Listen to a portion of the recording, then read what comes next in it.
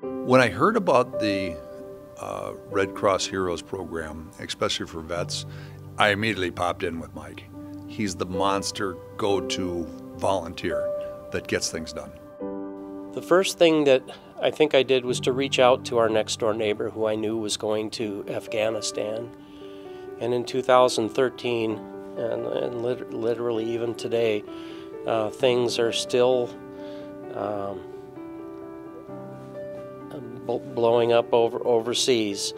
And um, he had a look of anxiousness as well as trepidation, and I wanted to assure him that people uh, back home appreciated what he did.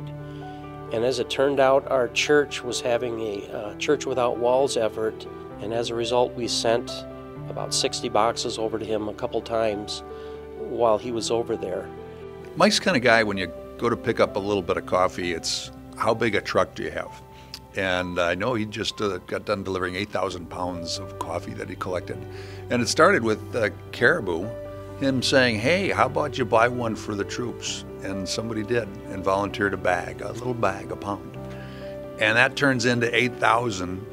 I'm a conduit to get coffee to veterans, and I've been fortunate to have a connection uh, with Caribou Company because customers pay to donate coffee and I'm able to get it to the veterans in places throughout the world.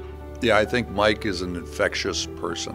When I go over to do a pickup on something, whether it's toys or coffee, etc., he immediately goes into four other angles of improving the donations and the other volunteers.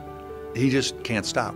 It gives me an opportunity to connect with people that are just really down to earth and really thankful for knowing that there's somebody out there that, that cares about them and, and, and thank, is thankful for what they did for us.